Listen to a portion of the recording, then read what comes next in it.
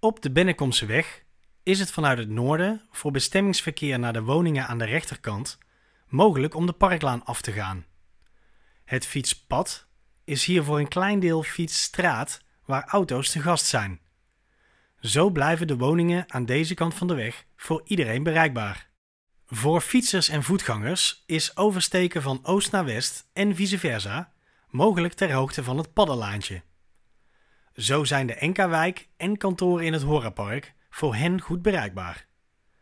Dat geldt ook voor wie het OV gebruikt.